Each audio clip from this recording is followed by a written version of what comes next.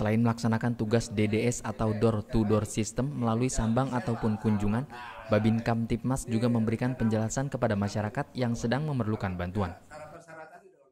Terkadang masih ada masyarakat yang belum mengetahui bagaimana cara mengurus dalam penerbitan surat keterangan catatan kepolisian atau SKCK.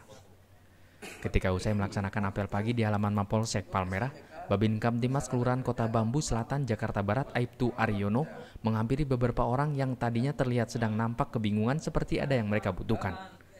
Dengan penuh keramahannya, Aibtu Aryono mendekat dan menanyakan kepada warga yang nampak kebingungan tersebut. Yang ternyata mereka membutuhkan pembuatan SKCK. Secara detail, secara detail Aibtu Aryono menjelaskan baik persyaratan administrasi maupun persyaratan lain termasuk cara berpakaian yang sopan santun serta alas kaki yang harus mengenakan sepatu. Tidak hanya sekedar memberikan penjelasan, Babin Kamtimas yang sudah banyak dikenal masyarakat ini langsung memberikan bantuan dan atau pelayanan untuk mengurus pembuatan SKCK hingga tuntas. Ucapan terima kasih pun terlontar dari warga masyarakat yang baru saja dilayani dan dibantu dalam pengurusannya. Dari Jakarta, tim liputan Tribrata TV, salam Tribrata.